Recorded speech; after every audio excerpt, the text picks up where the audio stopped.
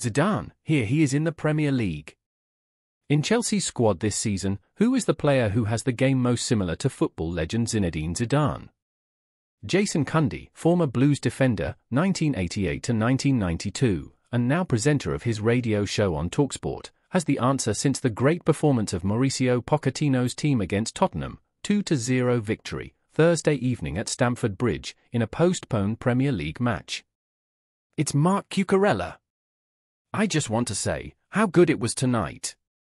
In fact, he played in midfield, we played with a three-man defence. He was an inside left back. He looks like Zidane like that. Long hair, a smaller version of Zidane, said Jason Cundy about the Spanish left back and left-hander from CFC. A great tribute to the 25-year-old.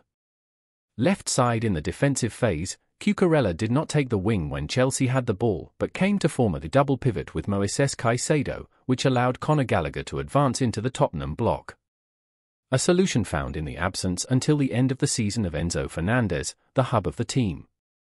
As a withdrawn playmaker, Cucurella was omnipresent.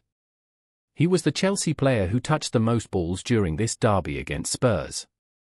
Recruited in August 2022 for 64 million euros, before bonus, from Brighton, the player trained at Barca has not established himself as an essential player at Chelsea.